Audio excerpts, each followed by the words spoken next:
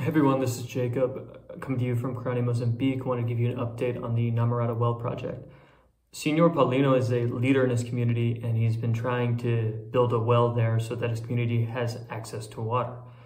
Um, since we last spoke, uh, he has been petitioning a neighboring community um, to allow Namarata to have to use their wells in, in exchange for us repairing them.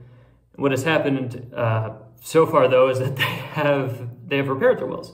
Um, good for them. And they have refused his petitions. They don't want Namarata using their wells. Um, that's unfortunate, and we'll keep trying to resolve it. I have plans to go out there with him and have a meeting with the leaders and see if there's any kind of solution we can come to, right? Because right now in the community, and for many months, they've been rationing their water, and the kids have been walking incredibly far distances to get the water so that people can bathe, eat, and drink. Um, I also said in the last update that I was I had, a, I had an approximation for the borehole. That was a rough approximation um, based on a few friends who do this kind of work. I spoke to a, a contractor recently. Um, guy lives north from me, good guy. He said he will do it for about ten thousand five hundred dollars USD.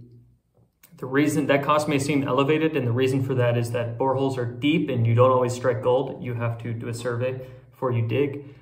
Um, two is is we live in a very rural area and the roads are awful to get here. It's long and it's awful, uh, as you can tell from the photos. So we were talking on the phone, the contractor and I, and he said I have to estimate how many extra tires to bring. like that's just the nature of things. So currently Paulino and I are petitioning the neighboring communities again to try and resolve the situation.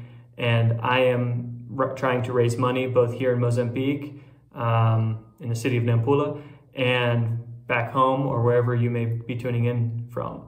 If you would like to donate or if you would just like to speak to me uh, and learn more about the project, uh, do not hesitate to reach out. My contact information this time will be in the video and below.